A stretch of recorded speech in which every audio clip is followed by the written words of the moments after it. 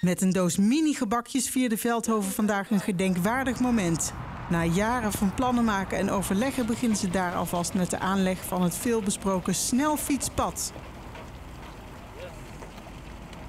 Nou, het loopt uh, nu vanaf het Maximum Medisch Centrum uiteindelijk uh, uh, richting Eindhoven. Dat moet worden doorgetrokken nog richting de high-tech campus. Dat is eigenlijk het, de eindbestemming, zou je kunnen, kunnen zeggen.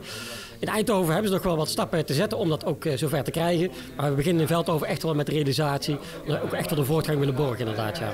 Ja, goed gehoord. Dat was een sneer naar het gemeentebestuur in Eindhoven dat nog niet zover is. Het proces heeft hier vertraging opgelopen door bezwaren van bewoners tegen het snelfietspad. Veldhoven kan wel alvast beginnen aan het pad dat hard nodig is om de drukte in goede banen te leiden.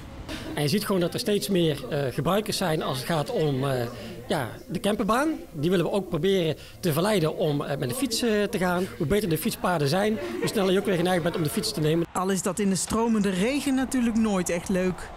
Eindhoven maakte eerder bekend 2,6 miljoen euro te steken in het snelfietspad. Wanneer hier begonnen kan worden met de aanleg is nog niet precies bekend.